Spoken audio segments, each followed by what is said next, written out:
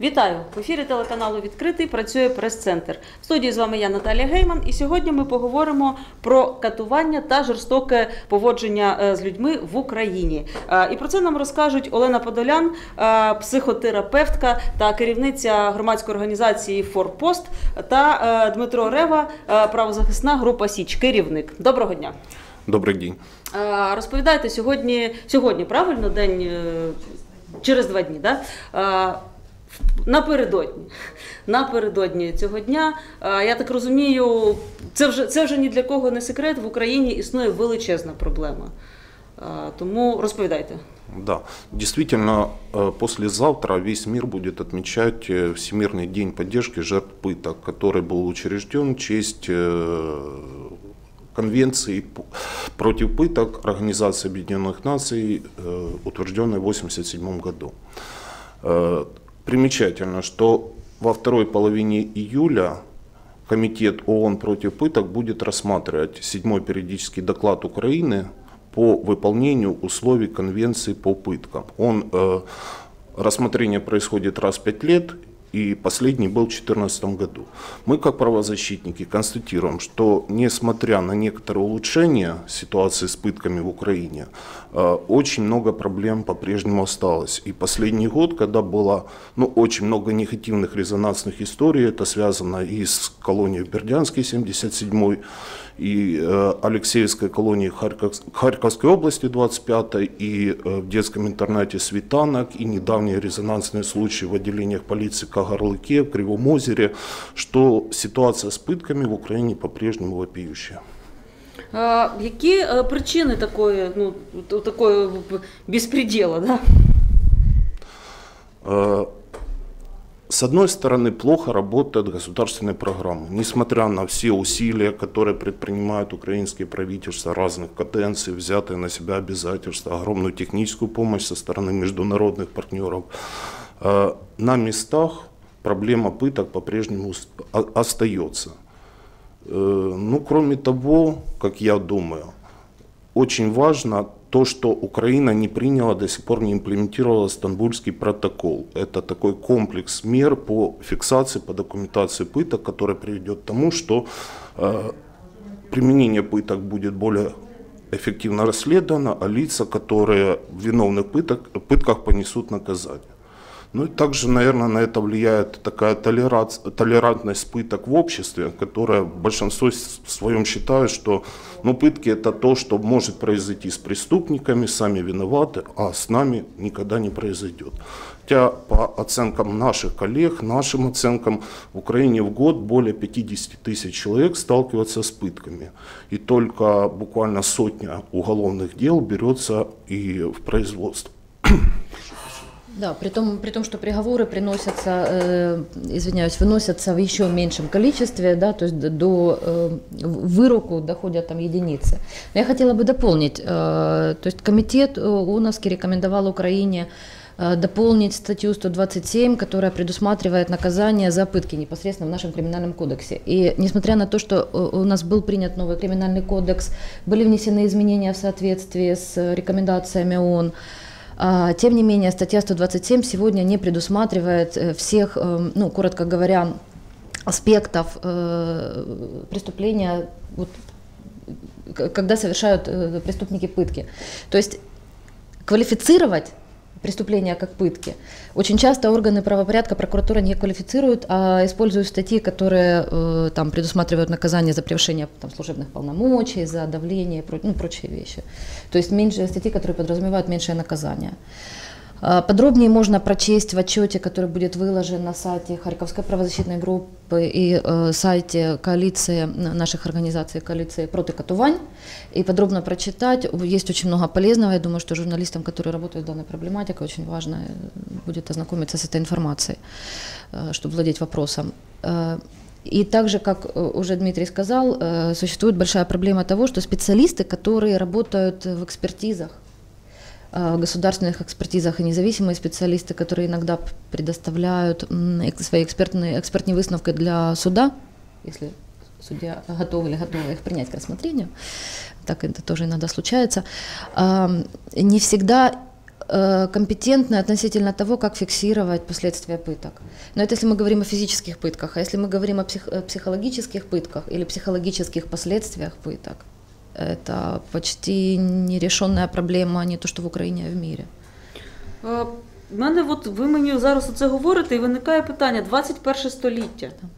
Е, Що відбувається? Що, що відбувається, от як е, до психотерапевтки в мене до вас запитання, з тими людьми, які е, скоюють такий злочин, да, які йдуть на, на те, щоб принижувати, там, да, катувати іншу людину? Очень сложный вопрос. Э, Хотелось бы, конечно, иметь на него однозначные и простые ответы, но так вряд ли, вряд ли это возможно. Ну, в нашем случае, в случае нашего сучасного украинского суспільства, я так думаю, что, что вероятно, ну, это допущение очень свободное, но нам стоит об этом размышлять, стоит вносить эти вопросы э, в нашу общественную дискуссию, стоит озвучивать. Можем ошибаться, но нам нужно начинать об этом говорить. Од- Одна из причин – это наше недавнее тоталитарное прошлое.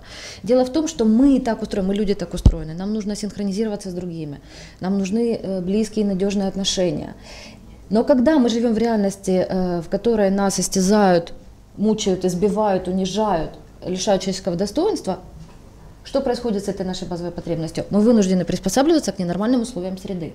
И мы начинаем толерировать вот эти пытки, которые потом э, становятся нормой жизни, да, унижение в любой государственной инстанции, куда мы приходим. Мы же привыкли к этому, да, мы даже перестаем бороться с этим. Мы говорим, ну что мы можем поделать? Ну, ми вже йдемо і ціленаправленно розуміємо, що Да. з нами там зараз щось буде відбуватися, не- Да, нехороше. Да, мы можем начинать работать хотя бы с такими очевидными вещами, да, хотя бы с этой своей э, многолетней, там, многоде- де- де- много десятков лет этой традиции, привычкой толерировать такие вещи, э, откликаться, когда мы слышим, что там где-то за стеной, может быть, мучают ребенка, да, или, или кричит женщина и так далее, то есть не быть безра- безразличными к своим собственным правам и к правам просто окружающих нас, нас людей.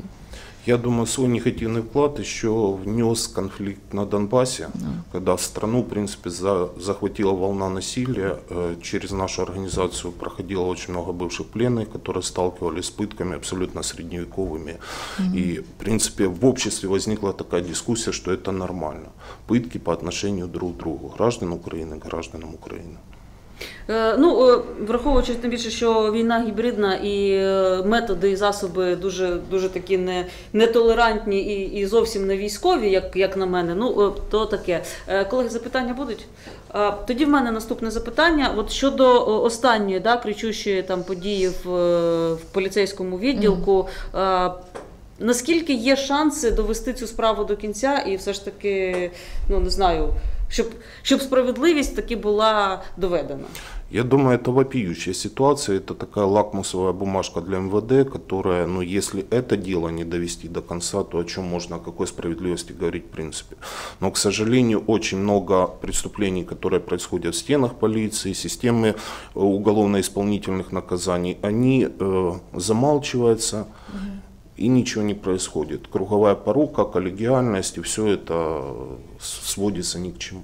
Тут еще, знаете, я, я дополню ва- важный момент. Нужно понимать, это дело находится э, на карандаше у вновь созданного отдела, который занимается при прокуратуре расследованием как раз э, преступлений, связанных с пытками. Они работают достаточно эффективно. Но э, реальность такова, что подобных э, преступлений множество, а знаем мы конкретно об этом.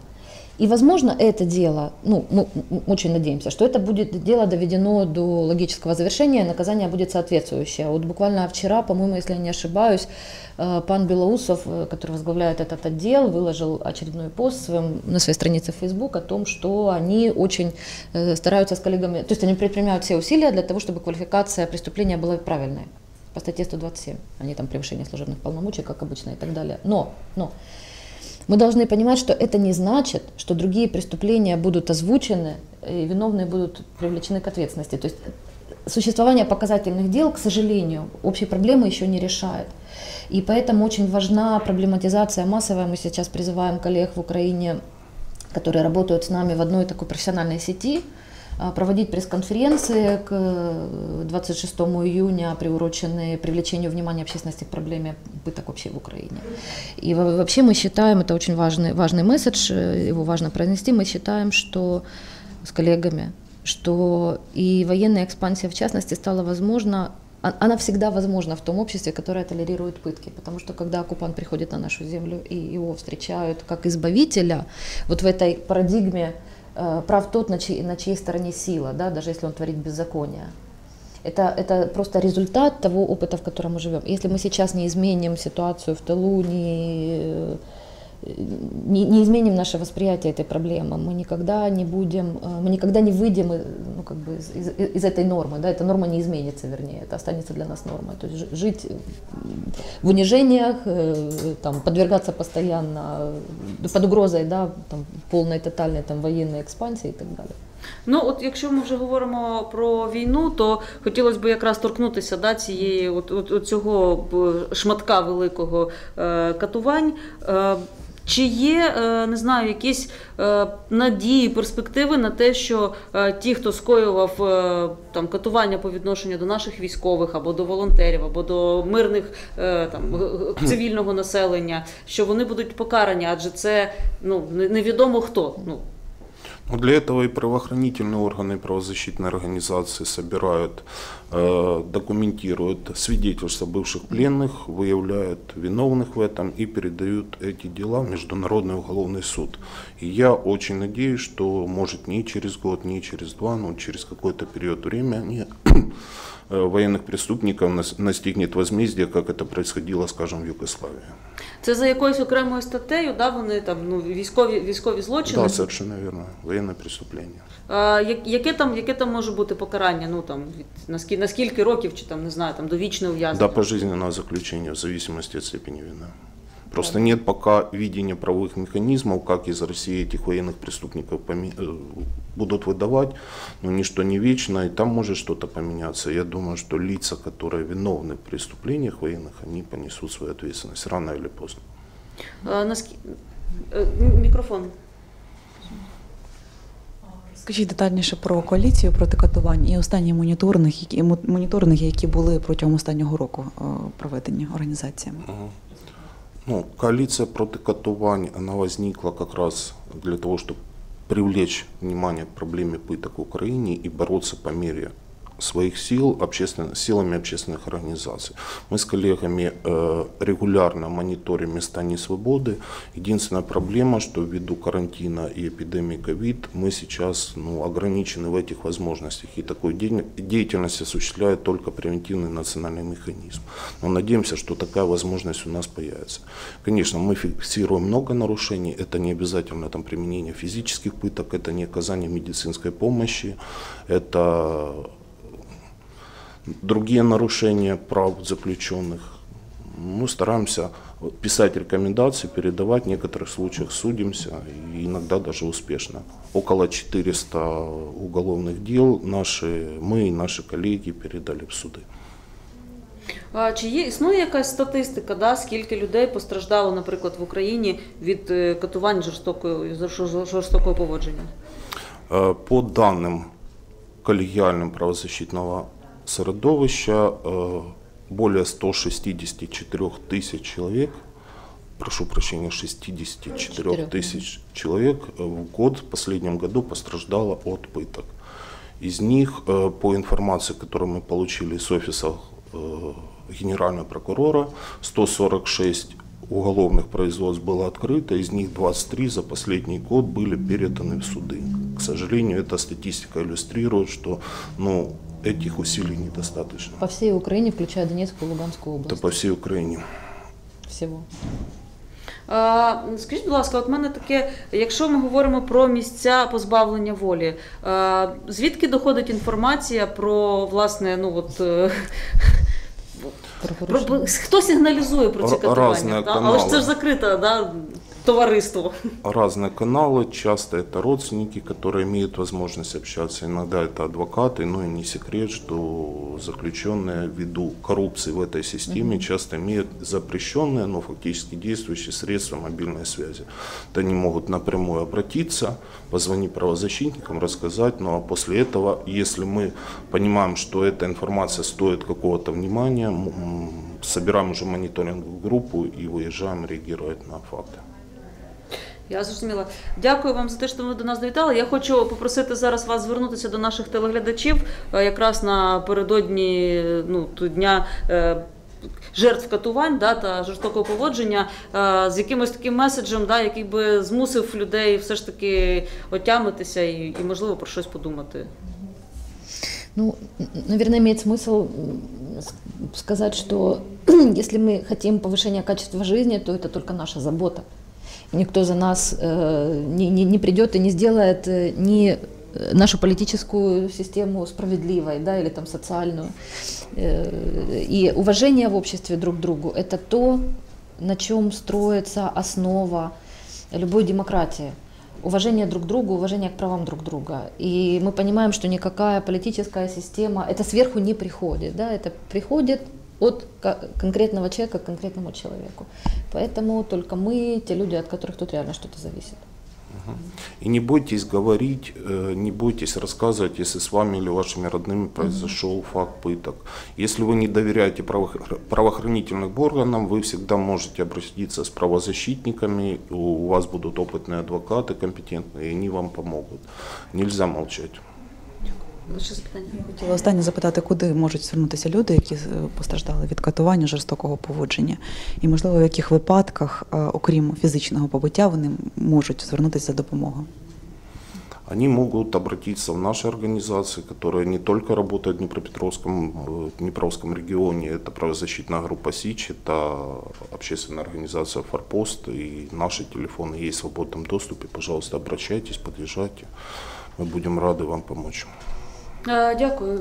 Ще хотіла додати? Нет, нет, все, все. Дякую вам за те, що ви до нас завітали. Шановні телеглядачі, ви все почули, тому е, ваше життя і ваші свободи залежать виключно від вас. Е, Не мовчіть, е, будьте, не будьте толерантними до тих моментів, коли вас. Принижують, ображають або е, поводяться з вами жорстоко, адже ніхто нікому не давав право обмежувати наші права і свободи. Дякую за увагу. До побачення.